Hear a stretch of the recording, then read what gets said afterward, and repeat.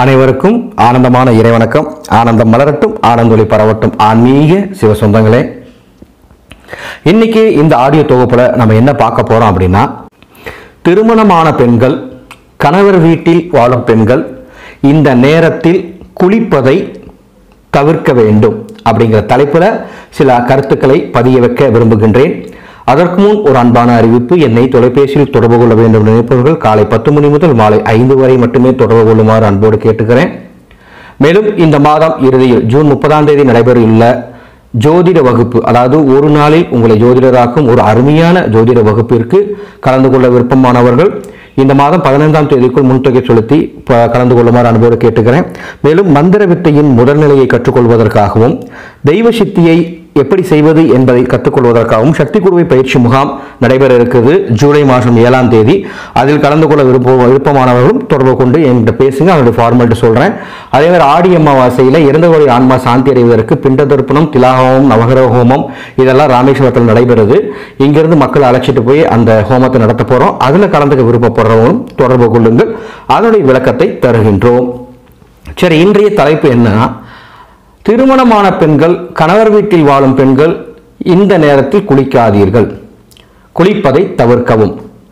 அப்படி எந்த நேரம்னு சொன்னால் மாலை பொழுது அதாவது ஆறு மணிக்கு மேல் பெண்கள் தலை குளிப்பதை முடிந்தவரை தவிர்ப்பது அந்த குடும்பத்திற்கு மிகவும் நன்மை பயக்கும்.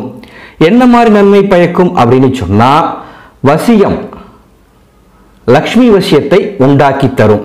ஆறு மணிக்கு மேல் பெண்கள் தலை குளிப்பதை தயை கூர்ந்து தவிர்க்கவும். இதில் சில விதிவிலக்குகள் உண்டு. என்னன்னு சொன்னால் மாதவிலக்கு காரணமாக குளிக்க வேண்டிய சூழ்நிலை வந்தால் அது பிரச்சனை இல்லை. அதே போல் ஏதாவது தீட்டு காரியங்களுக்கு போயிட்டு வரீங்க தவிர்க்க முடியாத காரணத்தால தீட்டு காரியங்களுக்கு போயிட்டு வரீங்க அந்த நேரத்துக்கு வரீங்கன்னா குளிச்சுக்கலாம். அதில் எந்த பாதகமும் அல்ல பாதகமும் இல்லை.